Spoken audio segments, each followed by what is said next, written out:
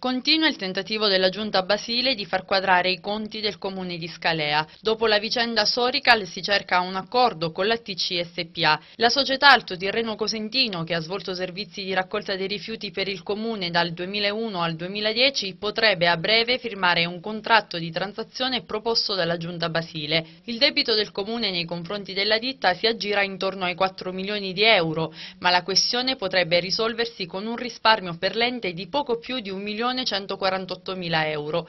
In pratica la città di Torre Talao, conti alla mano, è disposta a pagare 3.055.000 euro in 180 rate da circa 17.000 euro, debito che si estinguerebbe completamente tra 15 anni.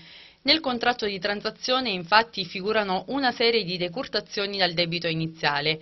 Il Comune di Scalea propone all'ATC di rinunciare alla somma di 610.000 euro relativa al periodo 2002-2006 agli interessi e alle fatture emesse al 2007 e al 2011 e di riconoscere lo sconto delle somme già pagate.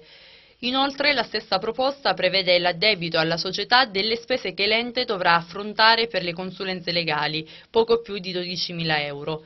L'Alto Tirreno Cosentino dovrebbe ancora rinunciare all'incentivo per la raccolta differenziata assegnato dall'ufficio del commissario per l'emergenza rifiuti, circa 71.000 euro. Infine, una minima parte del risanamento del debito spetta alla Regione Calabria, poco più di 121.000 euro, che la società non dovrà pretendere dalle casse comunali. Un'offerta vantaggiosa per l'ente altotirrenico che dal canto suo si impegna a pagare ulteriori atti di pignoramento e decreti ingiuntivi presentati da terzi creditori, purché siano poi scontati dalle rate mensili. Infine c'è anche la possibilità che sia il Comune a pagare le spettanze arretrate per tutti quei dipendenti in forza alla ditta fino al 31 dicembre del 2010. Anche in questo caso le cifre sarebbero decurtate dalle rate mensili. Nel giro di due settimane potrebbe arrivare la firma del contratto che chiuderebbe così un altro difficile capitolo del bilancio comunale.